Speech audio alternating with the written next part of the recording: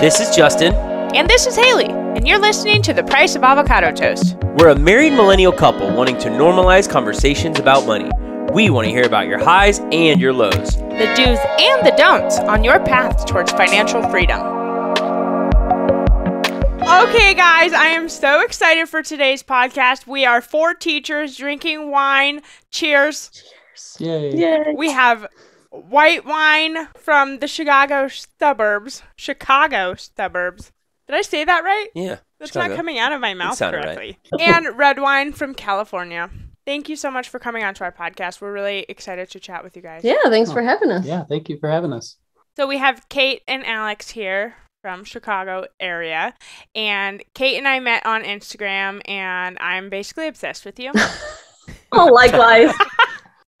so I'm just really excited to have you here to tell your story. We we want to pick your brains a little bit about your debt-free journey. Can you just start off telling us kind of what your debt-free journey was and how you got started with that? oh man. Yeah. So it actually all goes back to when I was pregnant with my second second child um, in 2017, and I was looking at our numbers because we always tracked our spending, but we never had like a budget.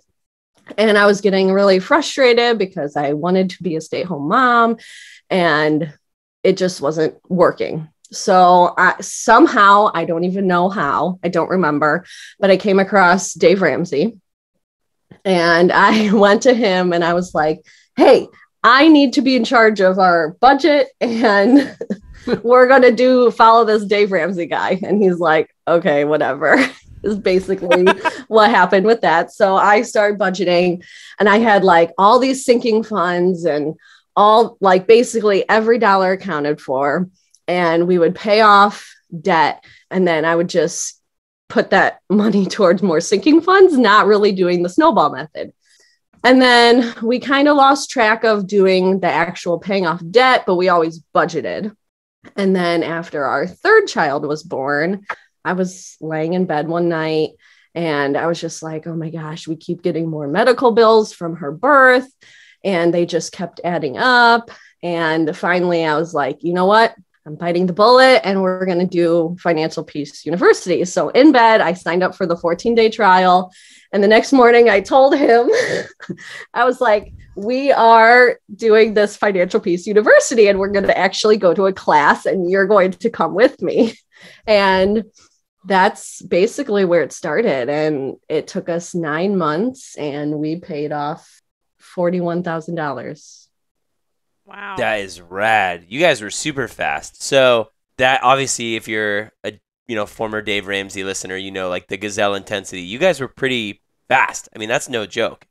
Yeah. So We ran into some uh like there's some fortunate things that happened too. Like uh we were gifted from our parents like a, a nice like cr- basically Christmas bonus, which Mhm. which helped a lot. Or like our tax return came back pretty pretty high. There were some nice little boosts that we received too that accelerated some of that because we weren't on track to be debt free until like the following year. May of 2022 was our original goal. wow. And then you, he, Alex went and got a second job.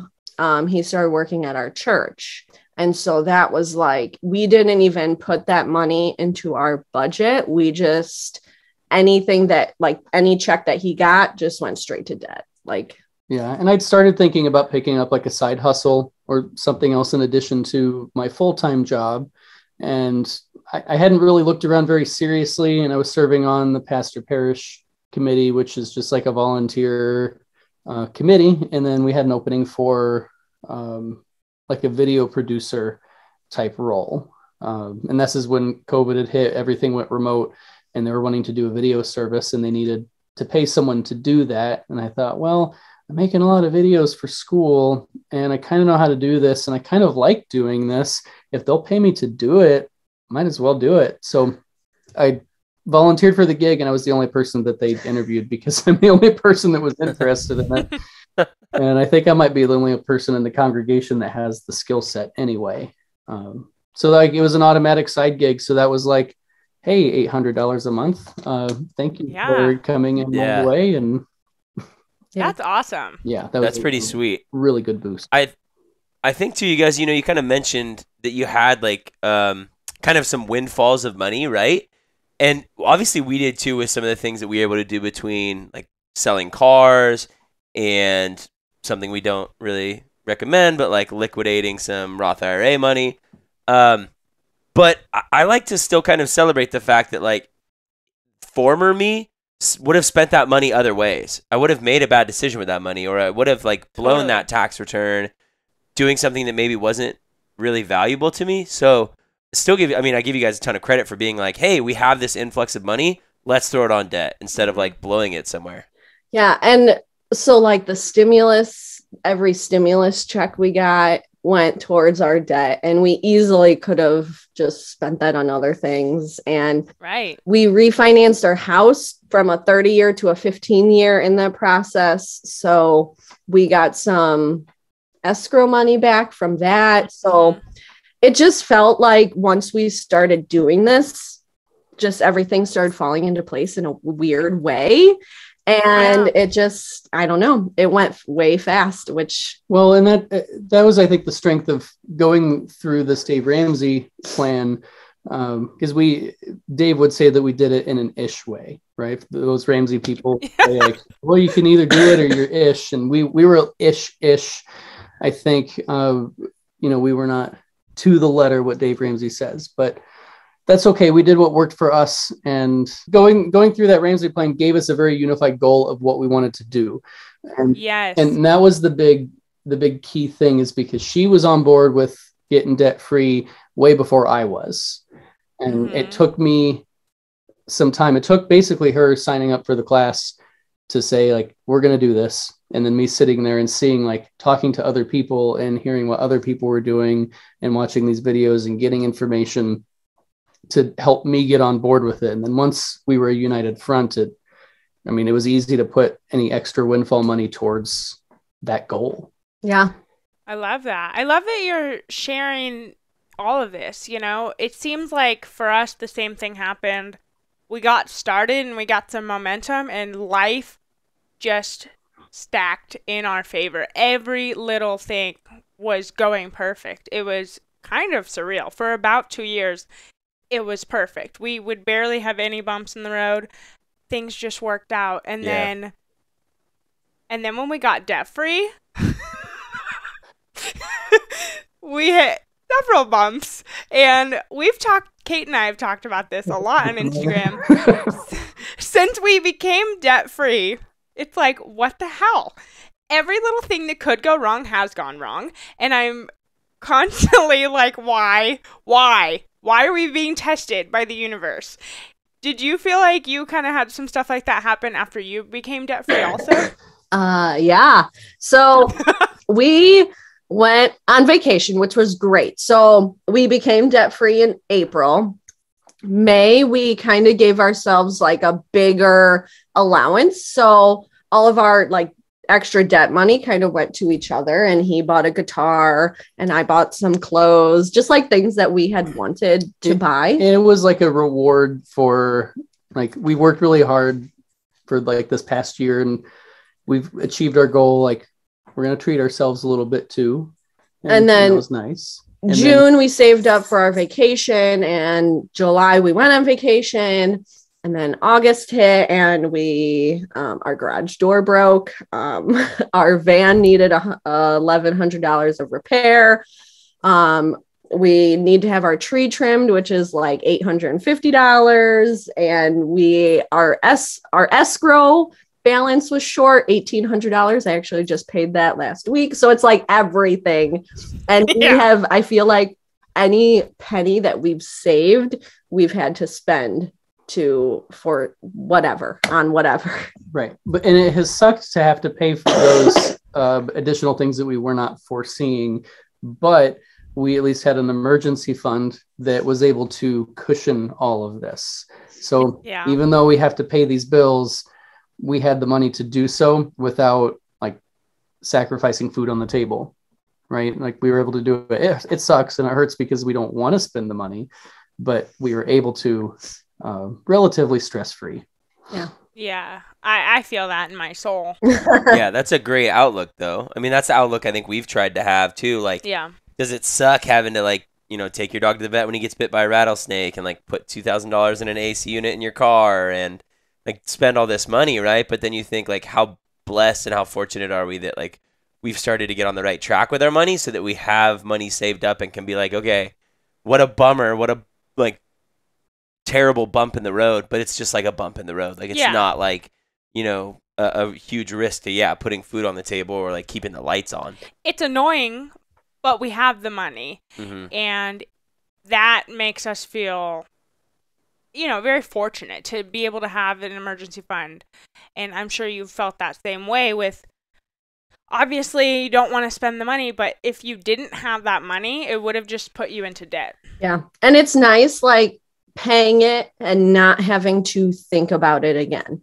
We paid Yeah. it, it's done, and it's not following us like any other debt payment that we had that just followed us until we paid it off. So, Well, yeah, and I'll add we have uh, we've got like some friends that we've we've talked budgeting before um, or talked budgeting with, and they aren't always in that same type of situation where you know if they hit a big expense like eleven hundred dollars to get a new water pump for the car, um, like that sucks, but that's going to totally derail like their month to month hmm budget and like that's that's painful and that and that's really stressful you know it adds to your credit card debt or adds to you know taking away from something else that's in their life and um, I, i'm glad that we were able to put ourselves in this position where we don't have to sacrifice you know our daily life to make something like that happen Yeah, definitely makes you feel grateful. hmm So I want to ask you guys, Kate. You say you have three kids. Mhm. Okay, obviously, you know we we're two. We're on our way there. Can you guys just kind of talk a little bit more about like parenting young kids while trying to get debt free? Because obviously, for us, you know, we started our journey right before number one came along, and then we like got debt free right before number two came along. Um, but I'm wondering what it's like, like trying to do it while you have, you know, several young kids. yeah. So, actually, each, each of the kids when they turn one year old they receive their special personalized leather bound checking ledger Yeah. and from a young age we teach them right away this is how you balance your checkbook That's awesome. um, we were actually debt free before we had kids. It was kind of once we had kids that we kind of, I don't know, we had kids Well, and then we, we had that double full-time income we did. So we had the double full time income. We did have a car that we bought brand new, which was a mistake, but but someone had to buy a car new. Someone just someone had to get it. I'm I know you can't see that at home on the podcast, but I'm just Yeah. to my wife. Someone had to buy well, a new yeah, car. right. You get married, and what do you do next? You buy a brand new car because that's what you do, and then you have babies. and, so and it was exciting. It was fun. I'm I just, glad we have that experience that we never will do that again. no, we will not. But we had had our daughter, and then we felt like we had to. Sorry, our dog is in the background. Penny. we had to buy. We felt like we had to buy a house, so then we bought a house, but we bought a fixer upper that had a lot of issues. And so one of our big debts was our kitchen renovation. We gutted our kitchen, and yeah, We did save up a little bit for that, so we were able to tackle like a fifth of the cost of it. We did. But going back to the question, sorry. Um I think having the little little kids, it didn't really make a difference. Um, we just kind of lived how we would. Maybe we didn't take them to the zoo as much as we would have, or we didn't.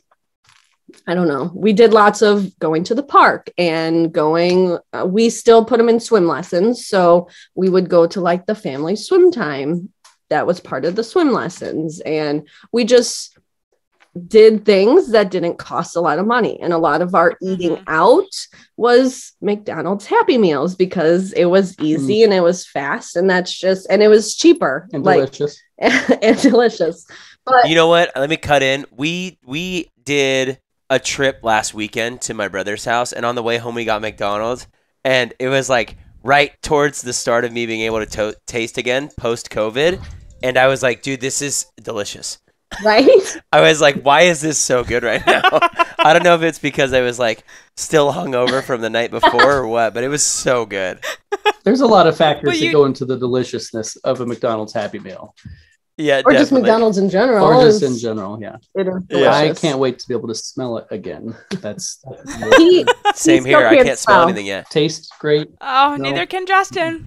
Nope. Haley's like, hey, can you smell the baby's diaper? I'm like, nope. She's like, cool, go change it.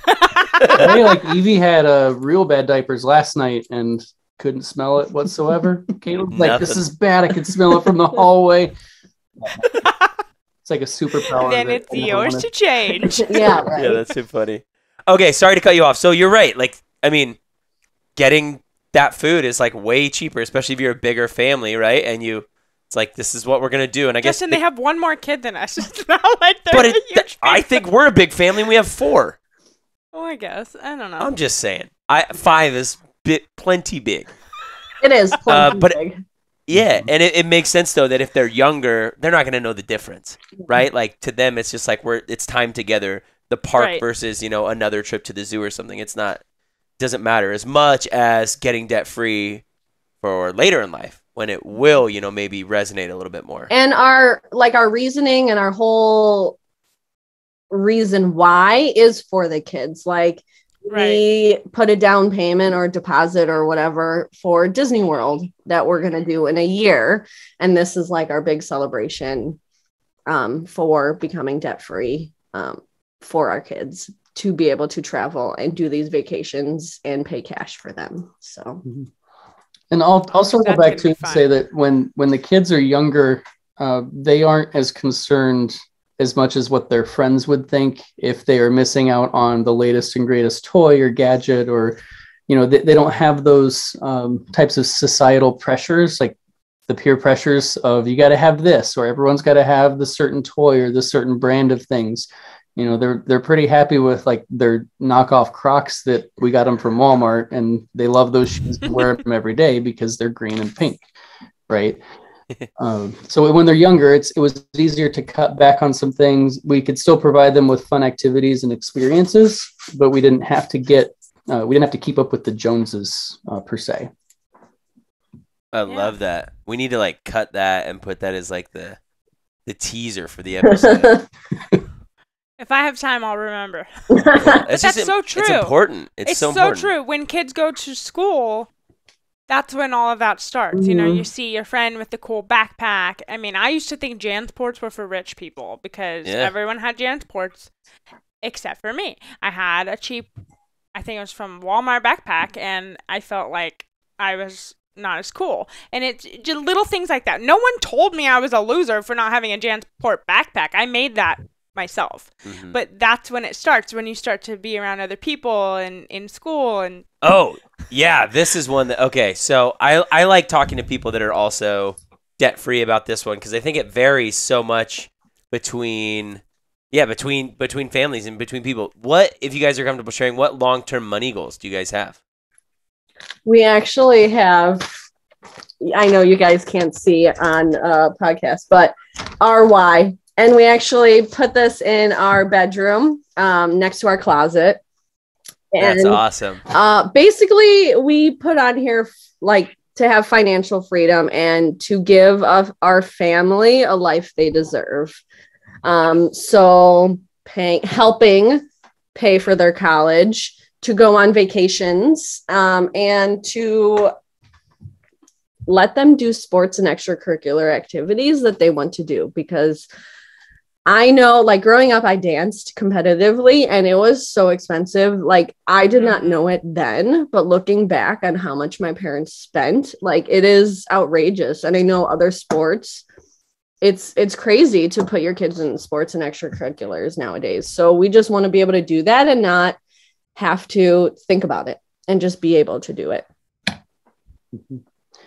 That's awesome. you you can't see it at home but caitlin did make us sign it she put some x's on the paper and we had to sign you it signed it. to hold Oh to my us all sign god. it. accountable I love it. You guys are No, I definitely think It was a teachers. brilliant idea, and I love you for it. I just want everyone to know that you made me do that.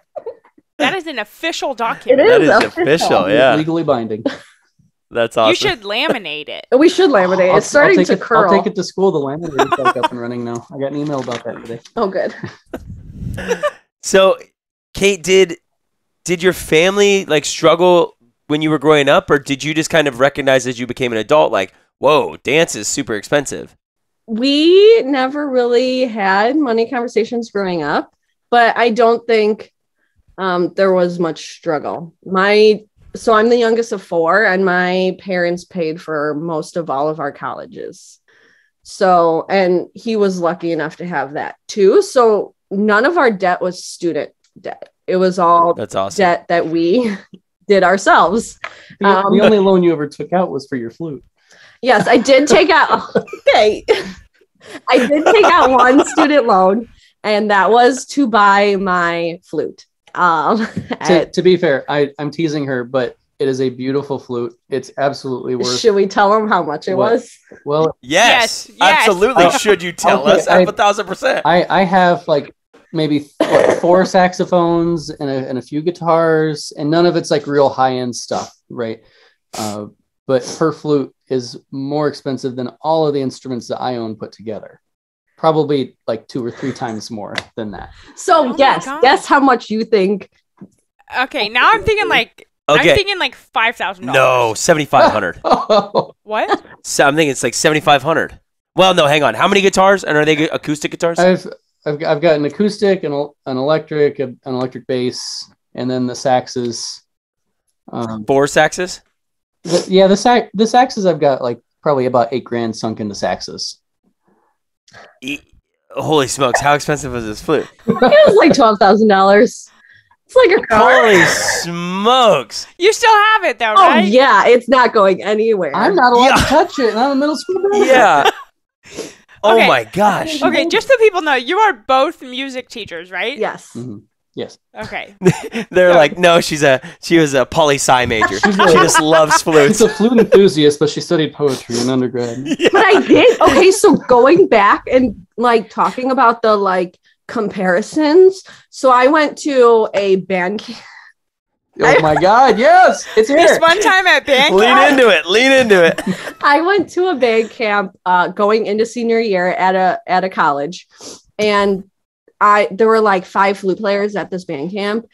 And then I didn't have my good flute because I didn't buy it until college. But there were girls there that their parents like they had twenty thousand dollar flutes.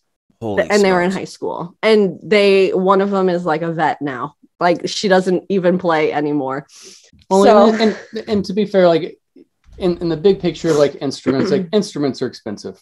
Just they just are. right? And in the world of orchestral instruments, you're talking about even more significant investments. And we don't need to like branch down that conversation, but like violins and cellos get very, very pricey.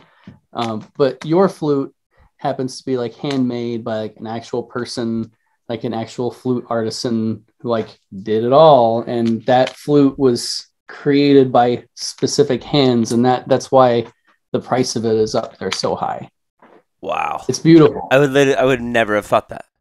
And, and flutes are unique that way. Like clarinets and it's like saxes are all factory made. It's like yeah flutes are not whatever. For whatever Flutes reason. are for whatever reason this weird category of band instrument where they're artisanal, and that's fancy.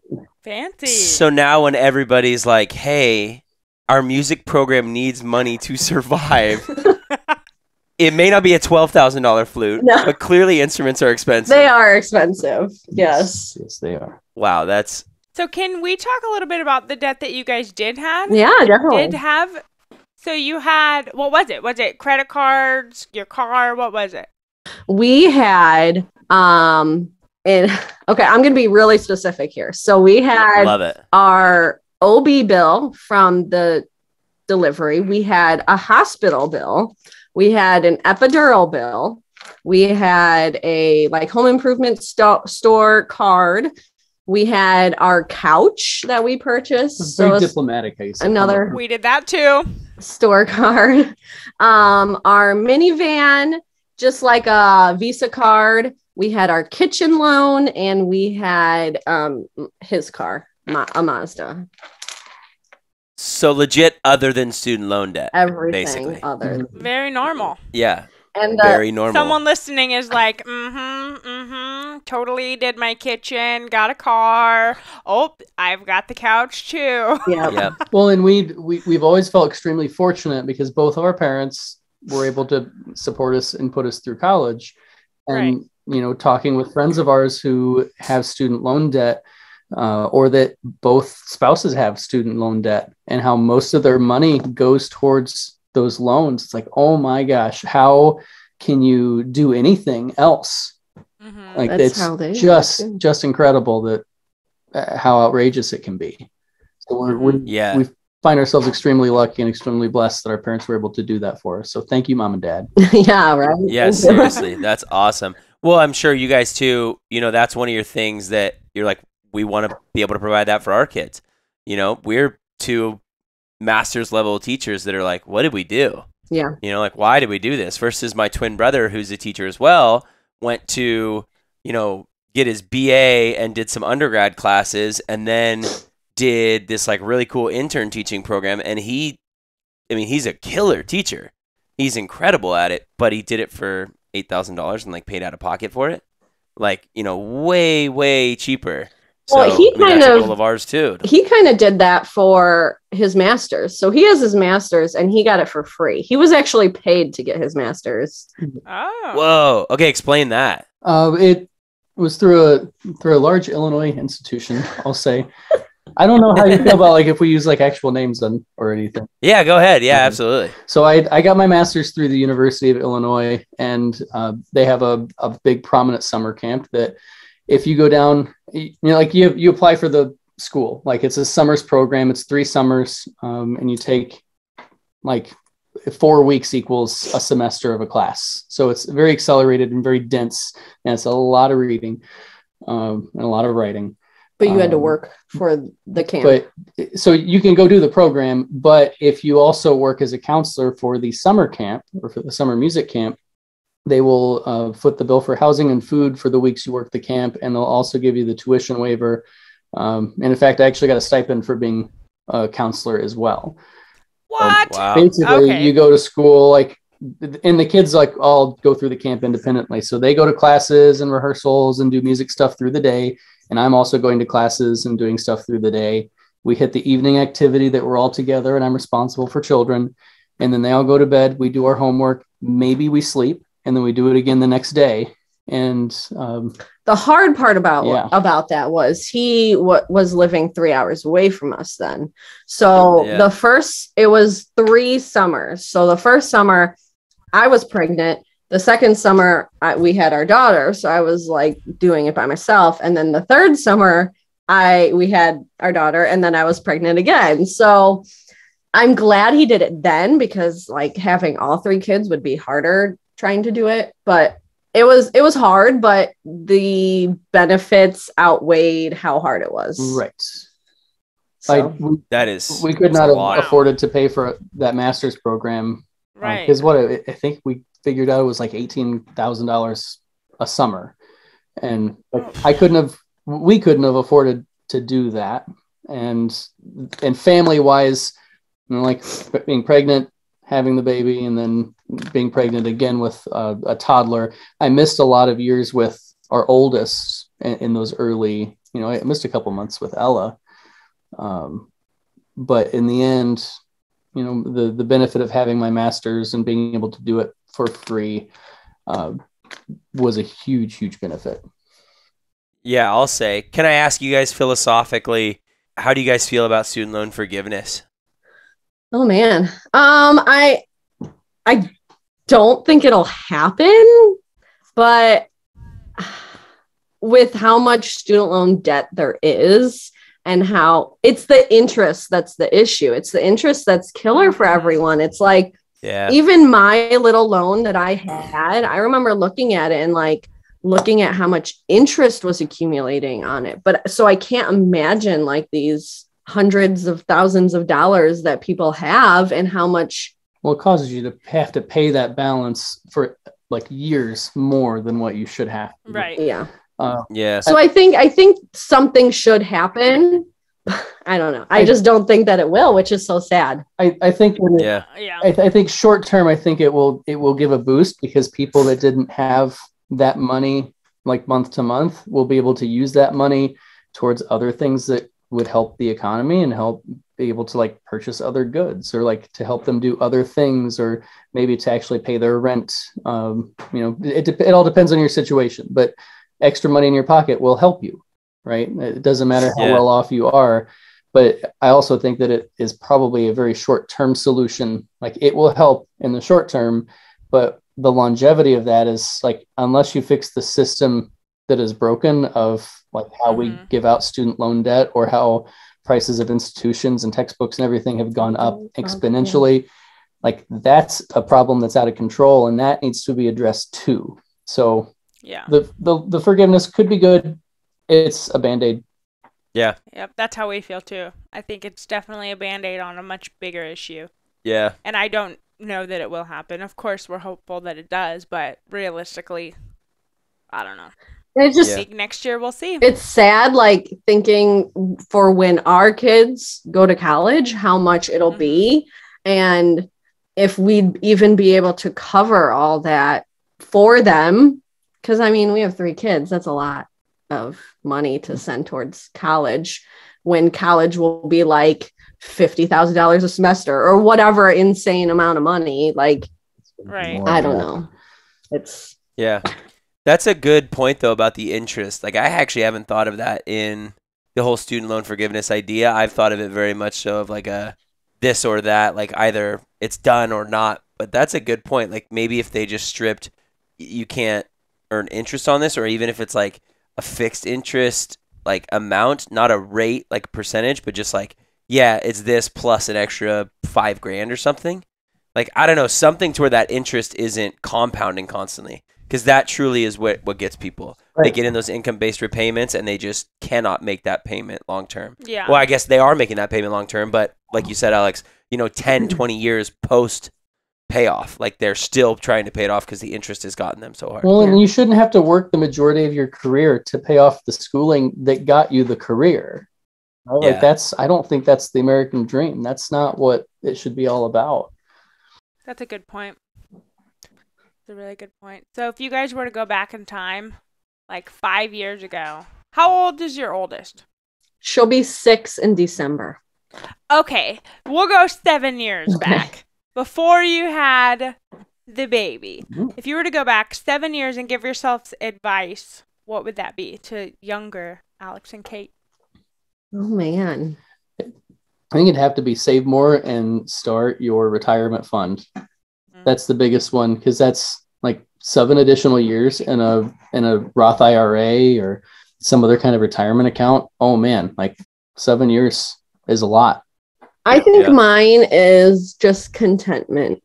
Seven years ago, I found myself still comparing us to other couples our age. And it's, yeah, the keeping up with the Joneses. I was not content with the stuff that we had. And I felt like the purchase of goods is what would help that, I guess. Not that I wasn't content with our relationship because I was, but it was like, Well, how can you seeing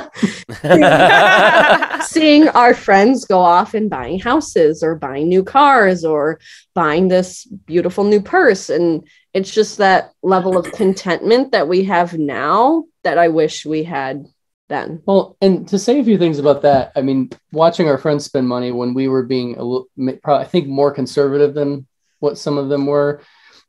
I mean, they were probably still in some financial troubles too.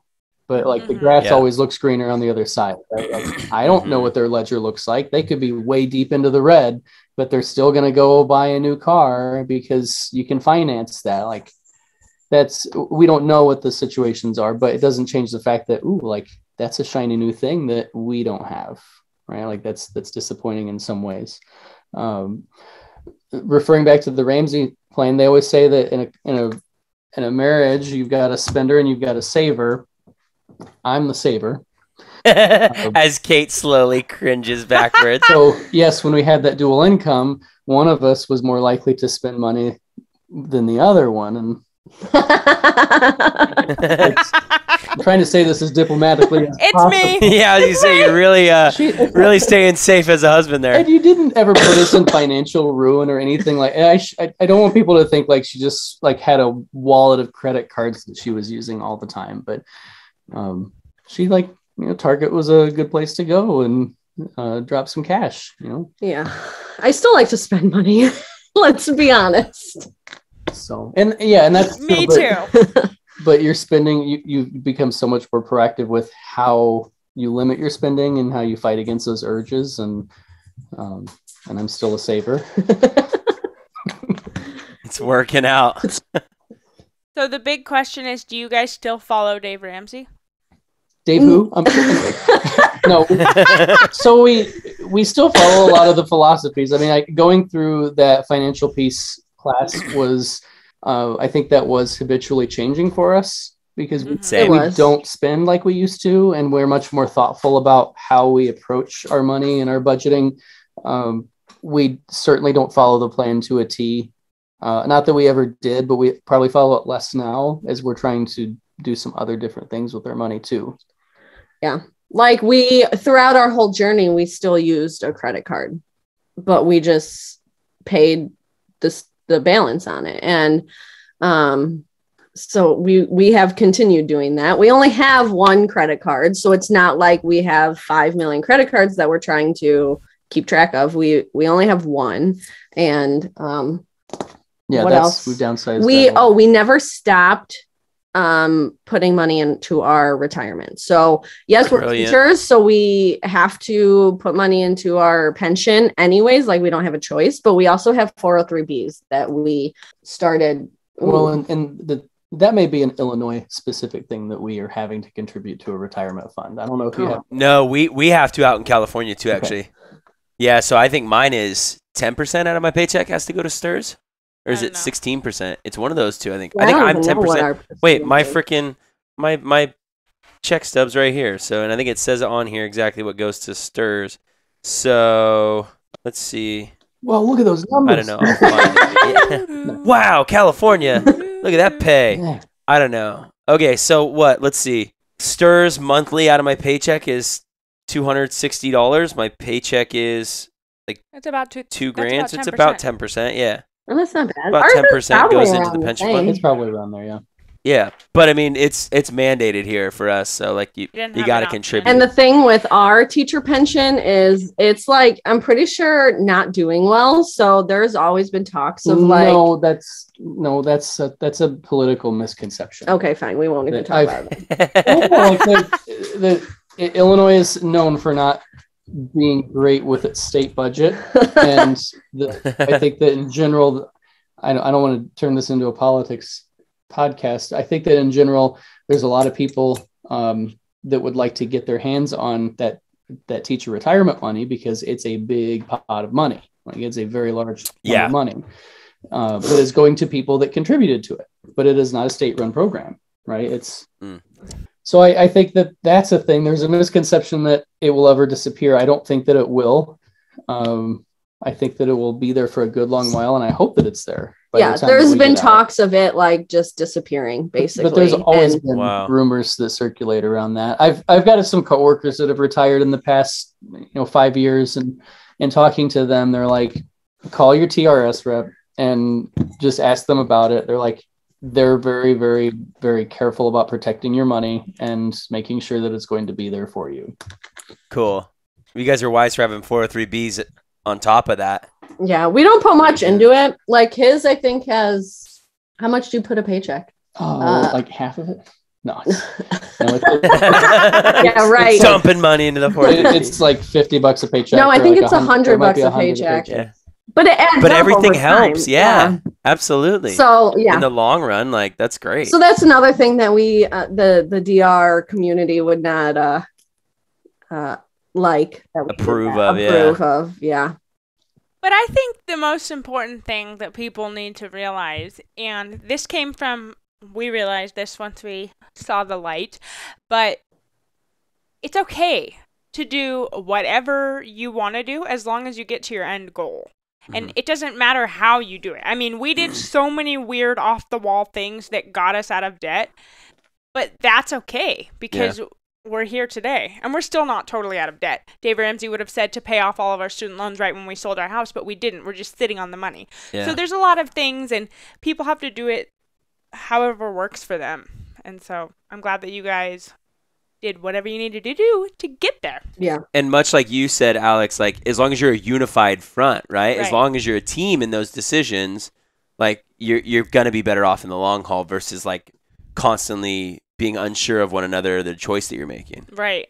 There were So- times when I would c- go to Alex and I would like have a new idea, like, Alex, let's do this, let's do this. And he's like, we need to focus on one thing at a time to achieve the goal, which in the long run helps. But my mind goes like a million miles a minute and it feels Right. like it takes forever to achieve the goal. So I like am already past that thinking about the next thing. But Well, and, and you had jumped in way deeper than I ever have. Like she started listening to different financial podcasts and you know following different people on Instagram. Cough, cough. Why we're here, right? And- but, but she is really it just dove into all of those different types of communities on social media and what's available on the internet and uh, is just you, you've just become part of that. But when you're part of that you're hearing all these ideas of all these different people that are doing it in their own way. It's like oh that's a good idea. That's a good idea. That's a good idea. And i think we experience that as teachers too right? There's so many different ways to, to do your teaching and there's not really one right way to do it. There's some ways that you probably should do and some ways that are more smiled upon but it, as long as you're like doing it effectively um, i think that's what's important. But it's really easy to get lost in like what everyone else is doing and trying to do all of those things. Like no no you can't do everything. Pick what works Mhm. and focus on that and be good at that one or two things. I think you've told us to do that like five times because and I i'll say it a sixth time if i have to. Yeah, that's a great way to put that though, because at least for me during pandemic teaching, right? Like you could go to every teacher and be like, "What are you using?" And they're like, "Oh, I found this tech thing and this tech thing and this tech thing." Mhm. And then you go to somebody else and it's three totally different things, Mhm. and you can find all these really cool tech tools, but you're like, "I got to do what works for not only me as a teacher this year, but the students that I have in my class." Um, other, you know, otherwise you can just steal everybody's ideas, or I don't want to say steal ideas, you know, but try something that everybody else is doing and it may not work. And then, like you said, you never really get great at like the one thing that you need to be working on. Well, and a great example would be Bitmoji classrooms. Like so many people jumped on the idea of Bitmoji classrooms, and I'm not knocking it.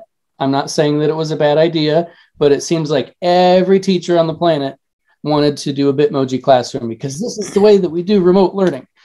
And well, not necessarily. Like I was never into that. Partially, well, mostly, mostly because I didn't want to take the time to make one, and I just didn't think it would be useful for me teaching band. Um, so I didn't make one, but I had coworkers that did, and they loved it, and the kids liked it. And you know, if you made that tool everyone and implemented survived. it well, then great. But that was an idea that everybody talked about and everybody wanted Yeah. to do, and it wasn't always effective for everyone. Yeah, I did that, and then like a month in, I was like, I'm over this. I'm over updating this. I'm not doing it anymore. And a kid was like, Mr. Brownwoods, have you updated it? And I had to have like a hard conversation of like, sorry, buddy, like we're not the Bitmoji classroom's gonna go away because it's not effective for us. Like Yeah, you you're, spend all you're this the only person invested in this. Like I love you, Ethan, but you're more invested than me, son. I can't have that. you spend all this time creating something or if you look at it like budgeting you spend all this time being super specific and then what's what's the outcome like is it really worth all of that effort for the bitmoji classroom for nothing to happen yeah. just to keep yourself entertained and if that's what you need to keep yourself going on your debt-free journey to have something spiced up then keep doing it but if you don't need it and it's producing more Work than it's yeah worth. then then it's not worth it Yeah. Totally. If Oh, I, I love your Bitmoji idea. yeah, I think at a philosophical level, it's just work smarter, not harder. Like I don't Yeah. want to dump a ton, a ton of time into something that's not going to give me much yield. I, I'm getting too old for that. As much as I hate to say it, but I want to be very effective with my time. Well, same with like making a budget. It's like, yeah, you can make a budget in the beginning of the month, but it's like, what's the end of the month? Does does it match up? Like, did you stick with it, you- or did you rework the budget to look a different way because you heard about this good idea on a, another site? Right. Yeah. That's an example. She's never done that. Yeah, the listeners are like, okay, tell us if he's like nudging or anything at that point. That's too funny. So I know that since you guys have become debt free, Kate, you actually started grad school that you guys are paying for, and you finally were able to have money set aside to get Invisalign. And both of the those things were big things to save up for, big purchases. Can you tell me a little bit about how your mindset has shifted between like saving and now you're you're in it and you're able to pay cash to do these things? I will say it's a lot harder. I, for some reason, I had, it's a lot, or I should backtrack. It's a lot harder to save. I, when we were paying off debt, as soon as the paycheck came in, I would like not even look at it. I would just send the, the amount of money to debt. But now it's like I put that money in savings and then it like, we need it for something and it comes out. So it's just harder to save. But the mindset thing, I don't think our mind, I try and keep the mindset the same. So I try and like, we have a goal to have $15,000 in our emergency fund by the end of the year. So I'm thinking of that like mindset as a debt. Like we want to have this paid off by December. Because for me, I work better. I don't know, for some reason my brain it just works better when I think of it as like a debt versus saving. I don't know why. I cannot explain it. But yeah, we we became debt free, and then we had that that month of May where we like we bought nice things for ourselves as our reward, and we're like, okay, we'll get back on track next month. And for the most part, we did, but it was a whole lot easier since we're like we're debt free to like maybe splurge a little bit and go out to eat one more time that we didn't need to, you know. And it was little expenditures like that. Um, Mm-hmm. but it, we've had to come up with some different styles of goals and thinking about yeah like we want to hit this certain amount in our savings account. Well let's think of what we owe to get to that amount. Like if we have 10,000 in it we want to get to 15 okay well we owe $5,000 think about it think about it as a debt. And something in in our mindset seems to be more uh, effective thinking about it that way. I love that. That is super cool. Do you guys have any other like tricks or anything else that's kind of helped you stay on track, like beyond that? Because that's a great one. I love that. um I- Uh, oh Ama- Amazon. If if either one of us wants to order something on Amazon, then we have to confirm it with the other person because it's very easy to say, "Oh, I really want that new T-shirt," or "I really want." You don't say. Yeah, and then it'll be Wow. here tomorrow. Oh, great, right? It's very easy to just click the order, click it, and get it, and and and be done. But those things add up so quickly. Like, okay, five dollars here, ten dollars here, fifteen here, whatever. Who cares? We we can afford it. But then when you add it all up at the end of the month, you're like, well, shit. Uh, we spent three hundred dollars on Amazon. and it's that- it Yeah. by by by talking and like telling each other of the purchases it's mainly me asking or telling him like hey i'm gonna purchase this is this okay it's it's like it's like confirming the nuclear codes right before a launch, right? It's like, okay, Yeah. my key's in the ignition. Do I have your confirmation to do the? And then we do it, and then it's fine. But we have, we were. that's, accountability is really what it's getting. Yeah. Yeah. A- accountability is huge and it's not about some someone listening is like they're asking their husbands for permission to use Amazon. It's not that. It's more of the accountability. And I think if we did something like that, that would probably be a really good idea. We should probably do that. But because if you have someone to talk through your thought process of like these are the things that I want to buy, these are the reasons why I buy them, why I want to buy them, and then someone can be like, "Dude, we literally don't need that." And then you can think uh, think through it or or and that's think- think like, exactly "Oh, yeah, how really the do that." conversation goes That's my job. Yeah. he's like do Yeah. we really need that right now and most of the time i'm like no so then it goes in the save for later Yeah. category. Oh my lord! That I, I don't know how much memory Amazon has, but our save for later is um, it Yeah. looks like a receipt. Yeah. We were receipt. It's huge. We were having our uh, I think it was maybe August budget meeting. It must have been August. And Haley goes, "Hey, we need to budget um, some extra for the girls this month because I want to get a couple things." And I was like, "Well, don't you think that would just go Slight way to under the Calliope and Kennedy fund?" And she's like, "Yeah, I guess I could buy it out of that money." And I was like, "We should probably just do that then. Like we have a fund literally for the girls. We don't need to add more. If you're saying you want to buy something, that's the fund it comes from." Yeah. Yeah. I, I, I usually at the beginning of the month I I have a cart and I showed him this today. I have a cart of things and I'm like, oh, this is gonna be my beginning of the month Amazon purchase, and I just let things sit till the beginning of the month, and then we'll put it in the budget as beginning of the month Amazon instead of miscellaneous or stuff for the girls. Anyway, yeah, I had to be like, I "No, that's for that. the kids. I Put it in the kids' that. fund." or just like Alright, an thanks for the Amazon. Amazon budget item. Yeah. Just- Oh my god, I d- if mm-mm. I'm scared if we had that, it would be way too high.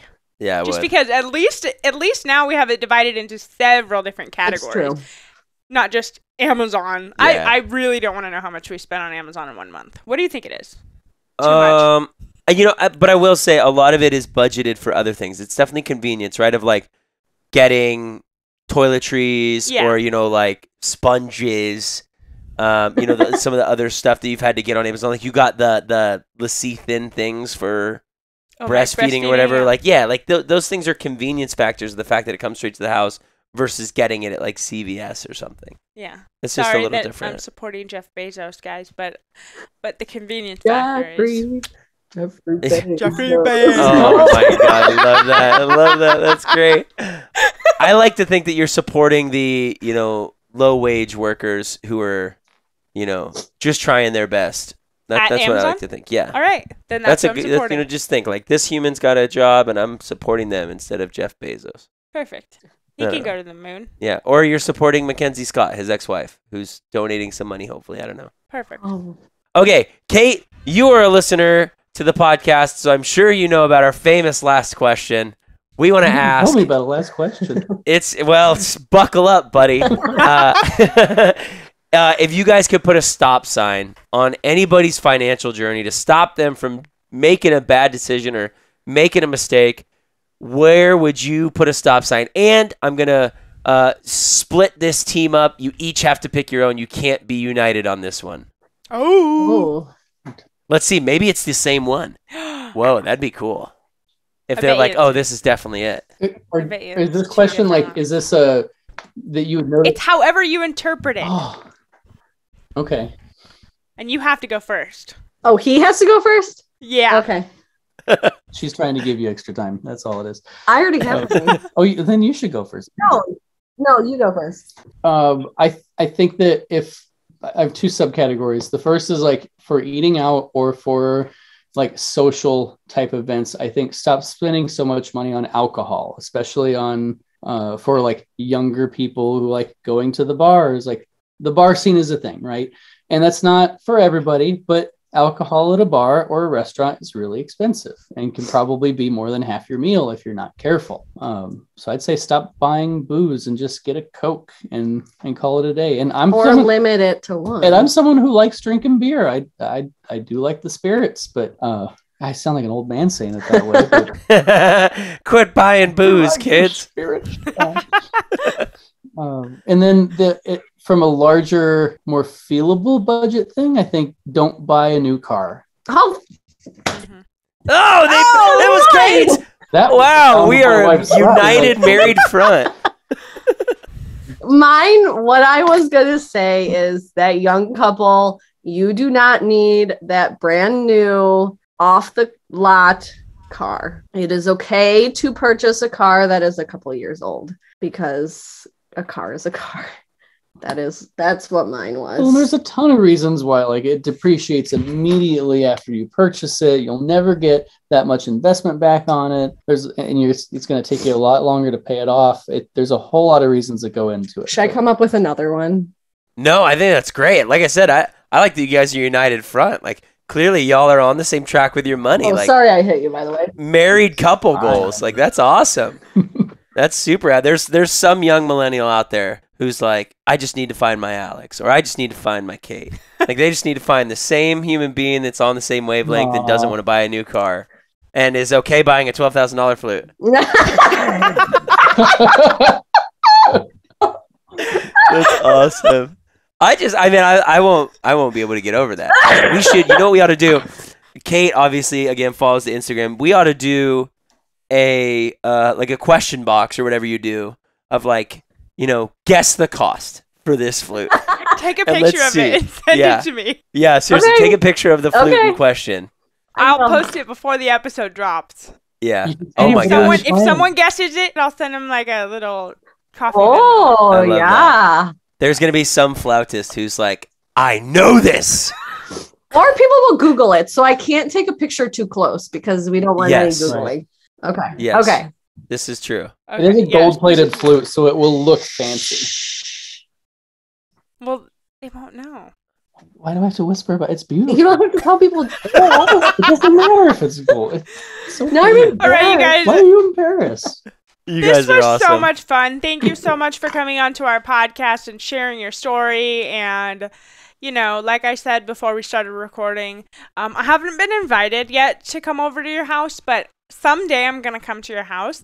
And when anyone says don't talk to strangers on the internet, that's a bunch of bullshit. Strangers are cool. Go hang out in their basement. I'm coming to yours. You're welcome anytime.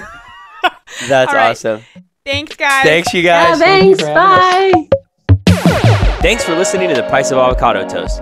If you vibed with this episode, share it with a friend that you're comfortable having money talks with. And if you don't mind, we'd love if you could rate, review, and subscribe wherever you listen to podcasts.